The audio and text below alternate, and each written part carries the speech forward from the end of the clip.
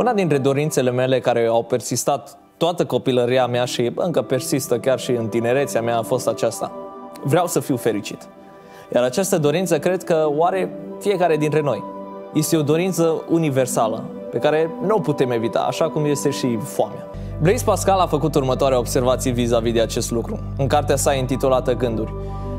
Toți oamenii caută fericirea, fără nicio excepție.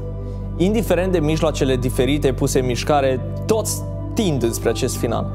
Motivul pentru care unii merg la război, iar alții îl evită, scoate la iveală această dorință, abordată din diferite perspective. Voința nu face nici măcar un pas în altă direcție decât în cea a fericirii. Și asta este motivația fiecărei acțiuni a fiecărui om, chiar și a celor care se spânzură. Iată-ne, războinic, pacifist, sinucigaș, leneș, muncitor, dacă ești om, ești hedonist. Poți încerca să negi acest lucru, însă nu îl poți schimba.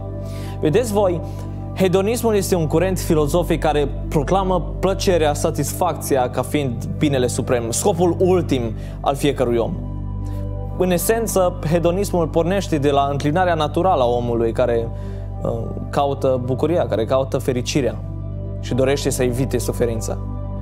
Dacă în calitate de creștin te gândești să încerci să ai o atitudine stoică în toate circumstanțele, atunci uită de Biblie.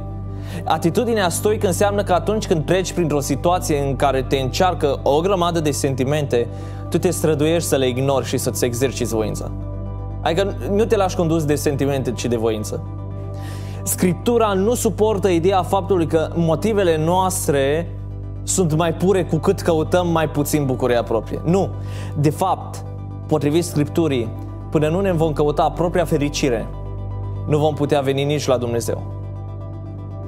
Căci cine se apropie de Dumnezeu trebuie să creadă că El este și că răsplătește pe cei ce-L caută. Dumnezeu ne-a creat cu scopul de a ne găsi toată bucuria, fericirea, plăcerea, oricum vrei tu să o numești, în El. Versetul 4 din Psalmul 37 te încurajează ca Domnul să-ți fie desfătarea și El îți va da tot ce-ți dorește inima. Pentru că, așa cum este scris în Psalmul 16, în versetul 11, înaintea feței tale sunt bucurii nespuse și desfătări veșnice în dreapta ta. Această dorință de a fi fericiți, despre care spuneam la început că este una universală, nu este păcătoasă, ci este bună. Noi ar trebui să dorim bucurii nespuse și desfătări veșnice. De ce vrea Dumnezeu ca noi să dorim desfătări? Pentru că acestea reprezintă un indicator crucial pentru noi.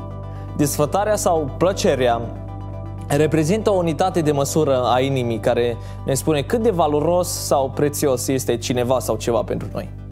Desfătarea este unitatea de măsură a comorii noastre. Care este comoara noastră?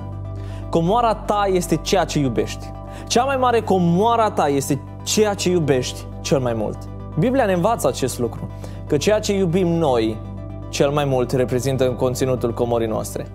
În Matei, capitolul 6, în versetul 21, este scris Pentru că unde este comoara voastră, acolo va fi și inima voastră. Da? Îți glorifici comoara prin faptul că acel lucru este sursa plăcerii tale. Problema noastră nu este că ne dorim să fim fericiți, ci problema se ridică atunci când încercăm să satisfacem această dorință în alte locuri și cu alte lucruri în afară de Dumnezeu. De aceea, Dumnezeu nu este indiferent când vine vorba despre ceea ce ne aduce nouă bucurie. Dar este un lucru care îl interesează. John Piper are o afirmație celebră care ne ajută să înțelegem mai bine această idee. Dumnezeu este cel mai glorificat în mine atunci când eu sunt cel mai satisfăcut în El. Desfătarea ta în Dumnezeu arată cât de mult reprezintă El comoara vieții tale. Dumnezeu nu trebuie cunoscut doar cu mintea.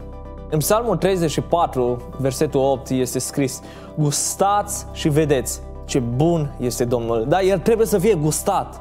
Dacă nu facem acest lucru, nu glorificăm pe Dumnezeu. Astfel, bucuria nu este opțională, ci este esențială.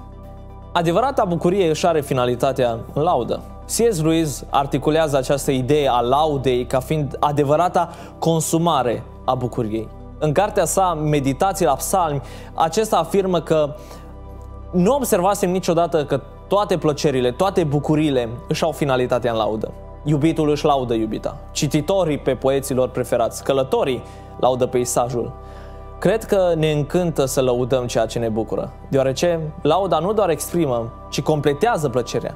Lauda este consumarea bucuriei. Dacă ceva păcătos îți oferă plăcere, problema nu este una a plăcerii, ci este o problemă care vizează comora ta. Plăcerea te va da întotdeauna de gol. Aceasta va dezvălui, indiferent de ce spune gura ta sau ce imagine încerci să proiectezi oamenilor din jur, că ceva păcătos este prețios pentru tine. Și nu doar că este prețios, ci orice lucru pe care îl faci este subordonat acelui lucru care este prețios pentru tine. Întotdeauna ești controlat de ceea ce ți-a captivat inima cel mai mult. De aceea trebuie să înțelegi următorul lucru. Cea mai mare pasiune a vieții tale, cea pe care îți așezi inima, va dirija întreaga ta viață, incluzând voința ta.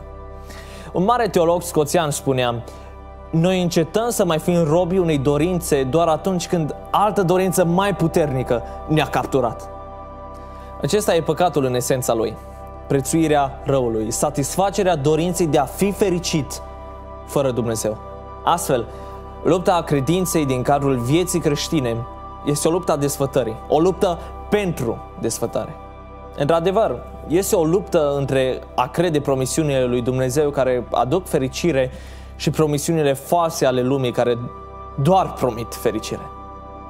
Pentru a avea parte de desfătări de pline în Dumnezeu, trebuie să renunțăm la plăcerile păcătoase, care sunt net inferioare în comparație cu bucuriile nespuse și plăcerile veșnice pe care le avem în Dumnezeu.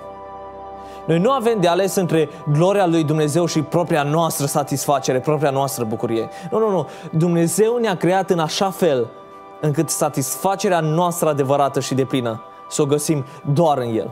Iar acest lucru se va concretiza prin laudă. Laudă la adresa Lui. Fapt care reprezintă consumarea deplină a bucuriei. Acesta este adevărul pur și simplu.